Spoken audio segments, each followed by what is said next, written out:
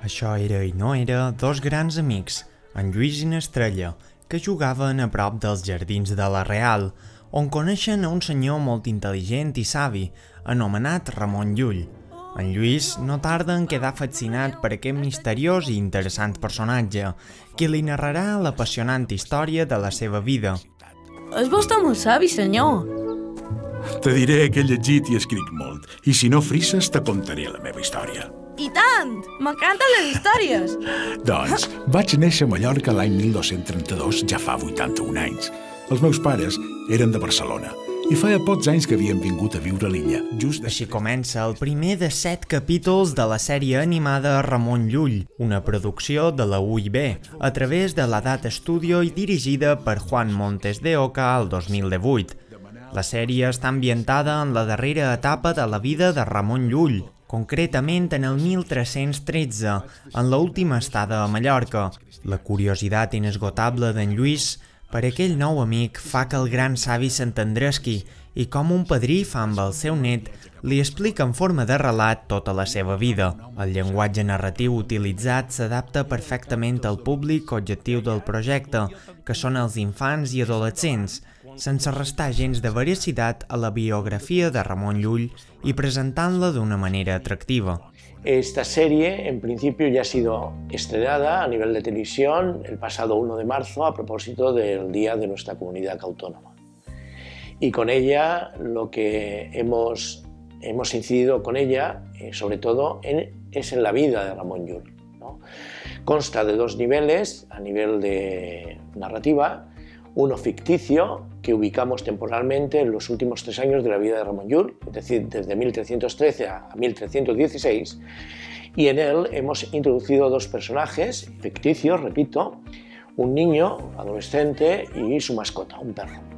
Estos dos personajes los introdujimos para poder, de alguna manera, eh, llevar a término el contar la historia de Ramón Llull a través de él mismo eh, contándosela al niño, debido a que entre él y el niño se establece una relación eh, bastante tierna, en principio. Y de esta manera aprovechamos esa relación para que Ramón Llull, de alguna forma, lo humanizamos para que trate con un niño con todo lo que conlleva, ¿de acuerdo? Y le cuenta toda su historia con palabras sencillas que son fáciles de entender y con ello eh, conseguimos empatizar la figura de Ramon Llull entre el público objetivo al que va dirigido la sèrie.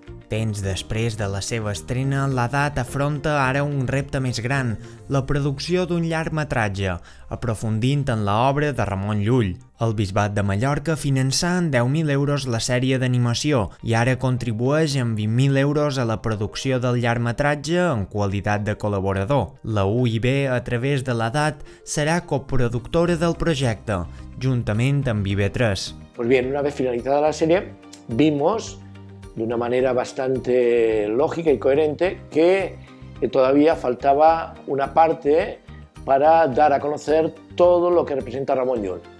Y esa parte fundamentalmente estaba representada por la obra, puesto que en la serie eh, profundizamos sobre todo en la vida de Ramón. Por lo tanto, vimos que el formato adecuado para esta segunda parte era el largometraje, en el que de alguna forma eh, complementamos el material realizado en la serie con material que de alguna forma creamos de nuevo para poder de alguna forma introducir en todo lo que representa la obra de Ramon Llull.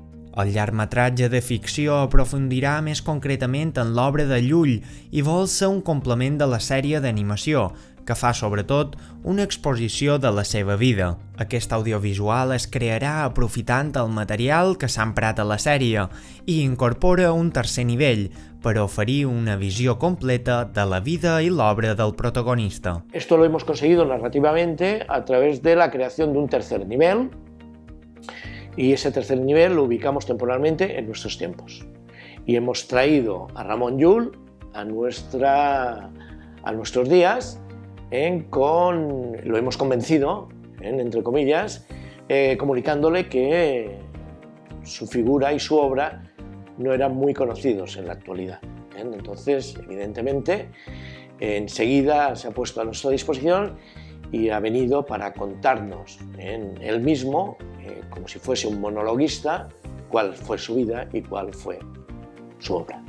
El projecte audiovisual Ramon Llull es creà amb motiu de la commemoració del setè centenari de la mort de Ramon Llull.